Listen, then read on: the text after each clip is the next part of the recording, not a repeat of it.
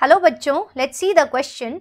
Trachea of cockroach and mammals are similar in having and the options are A. Paired nature, B. Non-collapsible walls, C. Ciliated inner lining and D. Origin from head.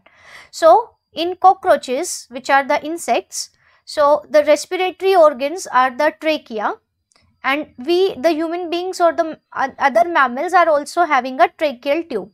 So, we have to find out the common feature in both.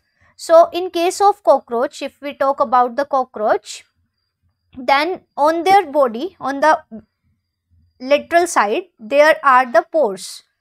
So, there are the lateral pores present over the body, 10 pairs of pores are there and these 10 pairs of holes are known as the spiracles. Now, these spiracles open into a tube and these whitish tube are known as the trachea and trachea ultimately gets branched to form the fine tubes which are called the tracheoles. So, these are the tracheoles. Now, in human uh, mammals also there is the windpipe which is known as trachea which extends from the larynx and they reach up to the lungs where they get divided to form the bronchi the primary bronchi. Now, one thing is common in both these trachea that they are non-collapsible. It means when there is no air in them, they do not collapse.